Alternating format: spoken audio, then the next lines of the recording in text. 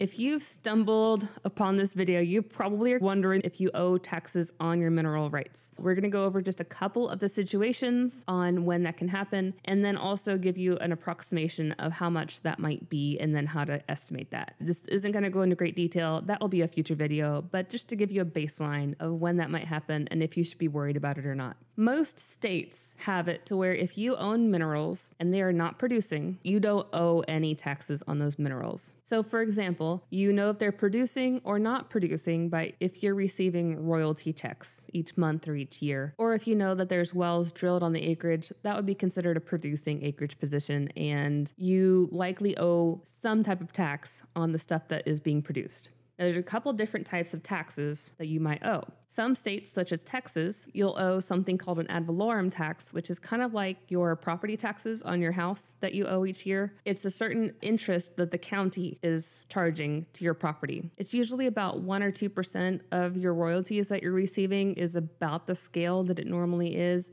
but it's not actually assessed on how much you're making from the well.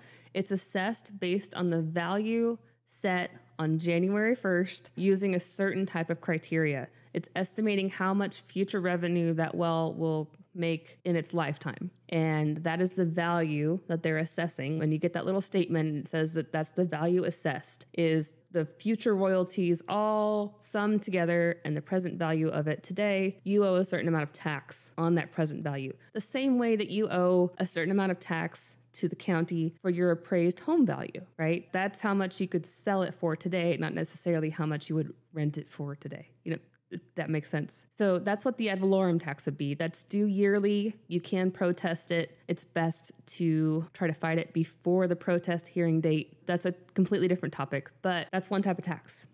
The next type of tax that you might see usually is something that you don't have to worry about. It's taken care of for you, and that is your severance tax.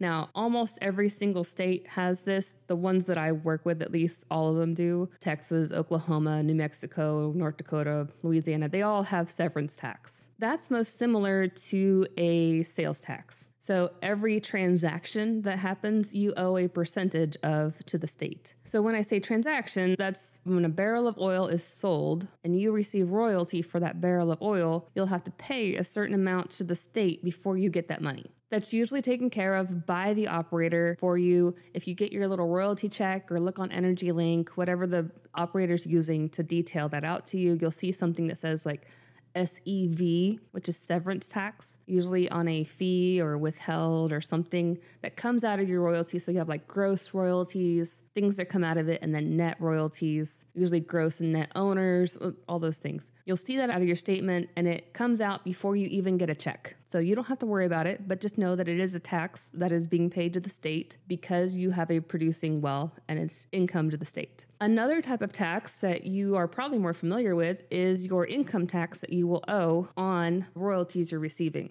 This is considered more of a personal tax. Do talk to your CPA. I am not a CPA. I just come across a lot of these taxes, so I happen to know it, so I'm going to share it. But I am not a CPA. Do consult a CPA that's familiar with oil and gas if you have significant income coming from oil and gas, because there are certain tax breaks and ways to file things that an oil and gas specific CPA might know better than one who has never seen it before. If you're a mineral owner in Northern California, your CPA in Northern California might not have ever seen Texas producing well. Make sure you know that your CPA knows what to do with this information. So, that said, you will owe income tax on the royalties you're receiving because it's considered miscellaneous income. And typically, the person who is paying you those royalties will ask for a W 9. Yeah, they'll ask for a W 9 so that they know how much to withhold for you. And then you'll receive like a 1099 at the end of the year that will say how much they withheld and yada yada. This is getting outside of my expertise, but I'm just letting you know that is your federal income tax. Now, some states also have a state income tax, which will also be levied. If you don't file a W 9 with the company that's paying you, they'll assume the maximum. And so they'll usually take out like 35% or something. It kind of depends on the state, all the situations, but make sure your W 9 is sent in, and that should make sure that you're handled appropriately.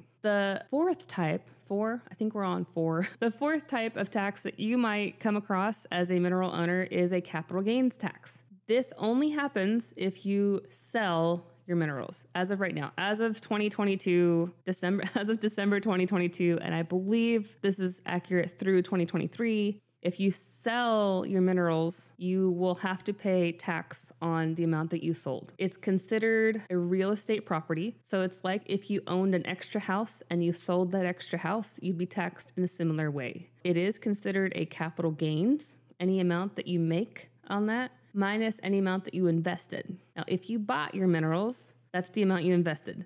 If you inherited your minerals, then you get into things like stepped up basis and cost basis and whatnot. And I do have another video on that that I will link. But the difference between what you got it for and what you sold it for is the capital gains. If it's less than a certain amount of time, it's short term. If it's more than a certain amount of time, it's long term. And they have two different rates that you have to pay. One is higher, the short term's higher than the long term. So that is a capital gains tax. And there's different programs where like you can roll over that amount into another investment. What's the name of the exchange? It's called some type of capital exchange. So, those are the main types of taxes that you're going to come across as a mineral owner. If none of those situations apply to you, you should not owe taxes. Let me know if you have any questions on this. I am a petroleum engineer. I do specialize in oil and gas valuations and appraisals, and knowing the taxes just is part of knowing the value of something. So that's just something I know.